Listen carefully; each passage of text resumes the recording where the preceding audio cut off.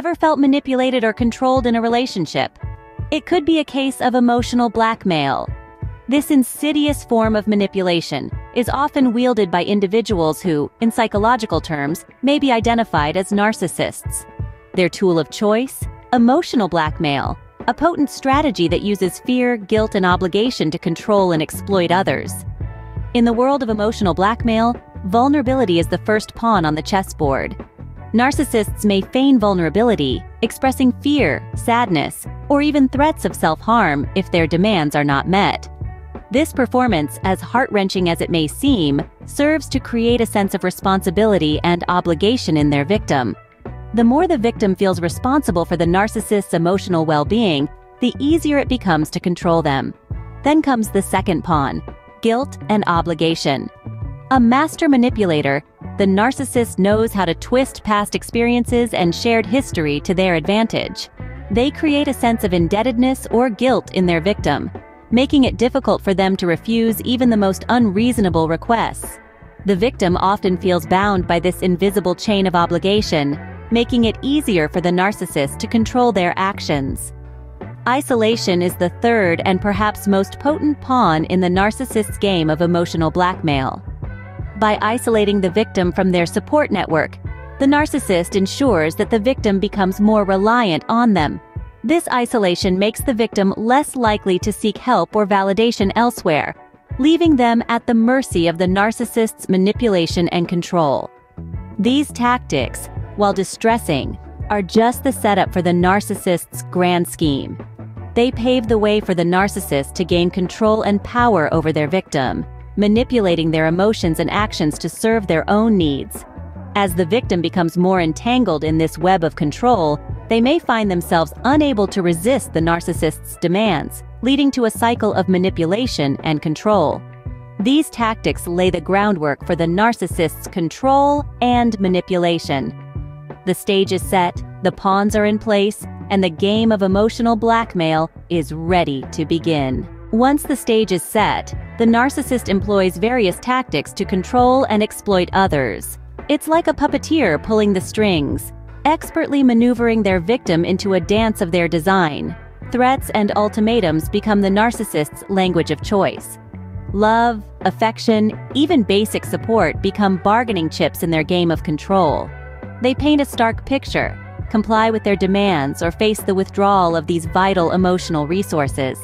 Ultimatums like it's me or them force the victim into a corner, creating a false dichotomy that leaves no room for compromise. But the manipulation doesn't stop at threats. Guilt trips become a common occurrence, with the narcissist often playing the victim themselves. They might claim that their unhappiness or misfortune is the victim's fault, twisting the narrative to suit their agenda. The victim is then left grappling with feelings of guilt and responsibility for the narcissist's well-being. Emotional manipulation is another tool they wield with precision. The narcissist might swing between emotional extremes, using tears and anger outbursts to elicit sympathy or compliance. Silence, too, becomes a weapon, with the silent treatment serving to punish non-compliance and create a tension that only giving in can relieve.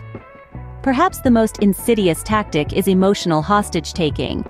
The narcissist may threaten their own emotional well-being creating a high-stakes scenario where the victim feels they have no choice but to give in to their demands.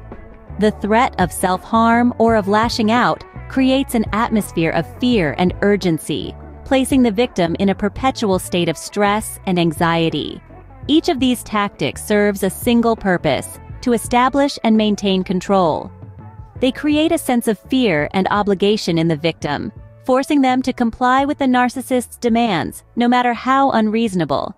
It's a cycle that can be incredibly difficult to break, but recognizing these tactics for what they are is the first step towards reclaiming control. These tactics create a sense of fear and obligation in the victim, forcing them to comply.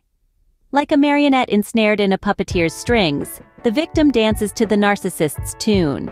But remember, strings can be cut, and puppeteers can be unmasked. The effects of emotional blackmail can be devastating. This form of manipulation often leads to a profound erosion of the victim's self-esteem. Over time, As the narcissist wields fear, guilt, and obligation as their weapons of choice, the victim may start doubting their own judgment. They may feel a constant, gnawing obligation to fulfill the narcissist's every wish, regardless of the personal cost.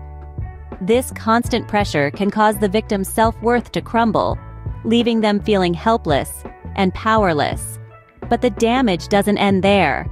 The narcissist's manipulation also relentlessly tests and violates the victim's personal boundaries. This relentless invasion creates a maelstrom of confusion and resentment within the victim. They may feel as though they're trapped in a cage, a cage built by the narcissist's need for control, with no obvious means of escape. This violation of personal boundaries can lead the victim to feel trapped in the relationship, unable to assert their own needs. Moreover, the climate of fear and uncertainty created by emotional blackmail can lead to serious mental health issues. Anxiety and depression can creep in, fueled by the relentless fear of the narcissist's next move. This constant state of emotional high alert can be incredibly damaging, both psychologically and physically. The victim often feels trapped, unable to assert their own needs. The impact is profound and far-reaching, a testament to the power of this insidious form of manipulation. But remember, understanding is the first step to breaking free. Breaking free from emotional blackmail requires awareness, resilience, and support. The first step is acknowledging the manipulation for what it is. This emotional chess game played by narcissists is not a reflection of your worth, but an underhanded strategy to control you. Once you identify these patterns, you can begin to resist falling victim to them. Setting boundaries is a critical part of this process. Be clear and firm about what you will and won't tolerate. This might seem challenging, especially if the narcissist reacts negatively. But remember, their reactions are just another attempt to manipulate you, not a reflection of your worth or validity. And you don't have to do this alone. Surround yourself with a support network of friends, family, or a therapist. These individuals can validate your experiences and provide guidance, helping you regain your emotional strength. Isolation is a powerful weapon in the narcissist's arsenal. By seeking connection and support, you disarm them. If the emotional blackmail is overwhelming and impacting your well-being, consider seeking professional help. Therapists and counselors can equip you with tools and strategies to navigate these challenging situations and begin healing from the emotional abuse. You deserve respect and healthy relationships. Don't hesitate to seek help and reclaim your emotional well-being. The road to recovery may be challenging, but remember, you're not alone in this journey. You have the strength to break free from the chains of emotional blackmail.